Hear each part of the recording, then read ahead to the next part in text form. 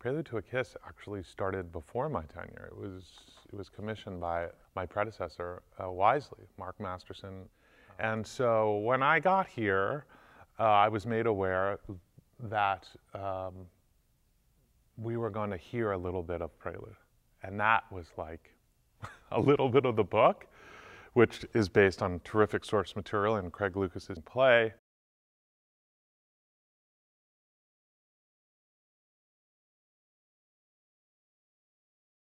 And I, I watched on video, because I was between Tucson and here, uh, that presentation. And when I heard the song, uh, I Haven't Slept in Years, that Rita sings as her first solo, uh, I basically put it down and I called the team here and I said, I'd like to greenlight this. It was very kinesthetic and really immediate for me.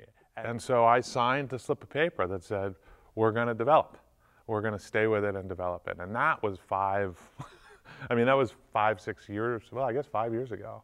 So all those reasons are, are sort of how we, how we then uh, arrived, I guess, here, in a very bumpy way because in between and in betwixt was COVID and cancellations and postponements and workshops. Craig Lucas has been part of the trajectory of the theater for a very long time.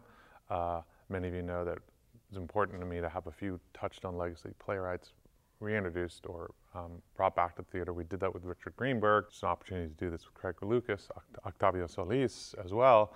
And so that feels edifying and it feels particularly great that, that Craig's work is now going to be seen in our 60th anniversary.